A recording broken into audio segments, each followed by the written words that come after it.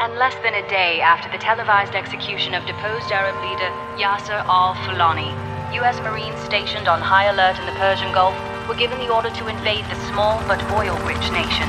While the exact time and location of the American invasion have been withheld for security reasons. Uh, Outlaw, this is command. Unload half your chalk here and take the rest two clicks west. Roger,